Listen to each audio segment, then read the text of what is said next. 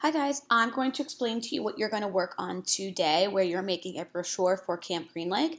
However, it's not the Camp Green Lake that we know of in Holes. You are going to be making, creating, and designing your own brochure for Camp Green Lake either in the taiga or the rainforest. So you should have already watched both BrainPOPs and decided whether you want to choose for the setting of Camp Green Lake to be in the taiga or in the rainforest and then you're going to redesign it based on what you've learned.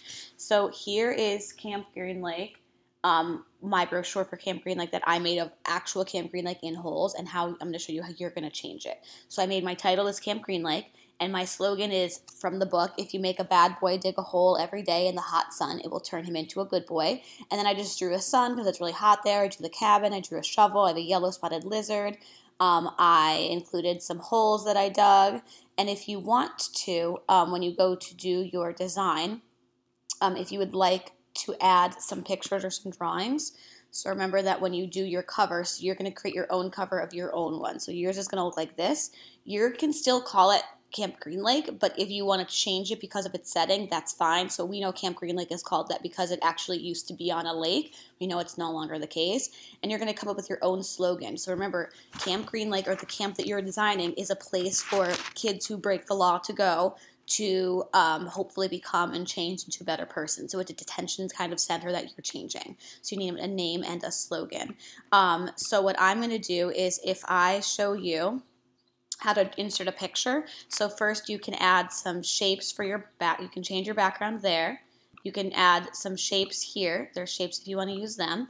You can use your any of your drawing tools that you want to use. And then I also like when I wanted to do the yellow spotted lizard, um, I just typed it into um, Google, and then what I did is I took a picture. So say I wanted this one, I hold down, I control click, and I'm going to copy this image, and I'm going to go back to Seesaw, and I'm going to control, and I'm going to paste that, control V, and I'm going to paste that image, or go to edit, paste, and then I have it right here.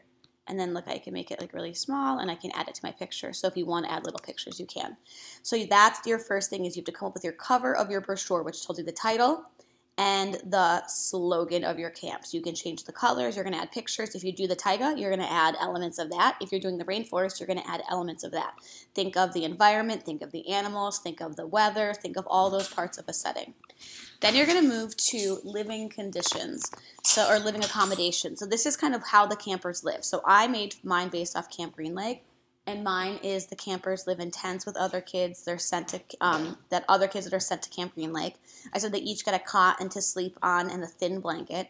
I said they will wear orange jumpsuits and a hat to keep the sun off their faces. Breakfast is served at I need to check that is served at 9 4:30 a.m. to avoid the hottest part of the day. Each camper gets a freezing cold shower after digging their holes. And I drew this a couple of the tents, and I got a picture offline of um, a person in the orange jumpsuit you for your living um, accommodations, you're going to describe what the campers live in, where they sleep, what they wear, all eat, what they eat, anything that you think they need. So they live in the taiga, what are they going to sleep in to keep warm if it's really cold? What are they going to wear? Um, what are they going to eat? Tell me about anything that you think is important for how they live. Same thing with the rainforest. What would they live in? Where would they sleep? What would they wear? And how what would they eat? All that stuff. So you can draw pictures. You can include some stuff, and you can type in here um, what their living accommodations are based on the setting. So I'm hoping that we're realizing that if we take Camp Green Lake and we throw it in the taiga or we throw it in the rainforest, it drastically changes what the campers um, have weather-wise, what they're able to wear, what even their um, jobs are going to be while they're there. After you do living accommodations, you're going to go to the next one, which is character building. So at Holes, um, it says at Camp Green Lake, the boys will dig a hole each day that is five feet wide and five feet deep. Their supplies are a shovel that is five feet tall, and they get a canteen for water. So I added a picture of them digging holes and a canteen.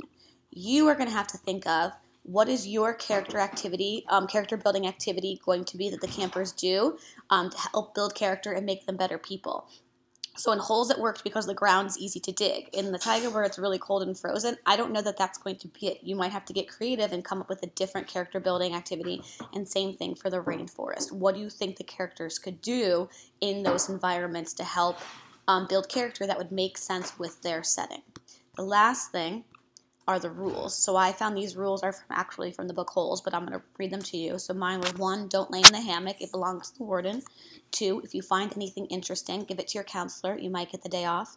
Three, watch out for rattlesnakes, scorpions, and yellow spotted lizards. Four, there isn't a fence or any guards at Camp Green Lake. Feel free to run away. There isn't any water for a 100 miles. Five, don't upset the warden. So these things make sense for um, for Camp Green Lake because a there's no shade, so there's a hammock to lay down. Um, we know that there's these types of animals that live um, in this setting. We know that it makes sense that there's no fence in Camp Green Lake because there's no water. But if I live in a place where there's water, then maybe I would need to change that. So you're going to go for your last thing, and you're going to come up with at least five rules for your camp based on the setting. So if you're in the taiga, what would your five rules be? Or if you're in the rainforest, what could your five rules be? So you again um, can add drawings, you can add pictures, you can add shapes. You're going to make this look really nice. If you want to do this on paper, that's totally fine and hand do it and color it. You would just need um, four pieces of paper. So for your brochure, okay? So you would need um, these different things. If you wanted to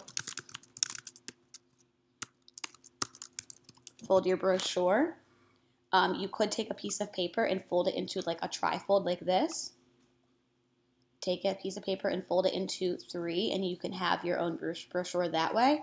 Um, or you could fold it in half or make it so that it looks like this. So you could fold it different ways, like one, two, and the inside opens up flaps. If you wanted to do it on a piece of paper, that's fine as well.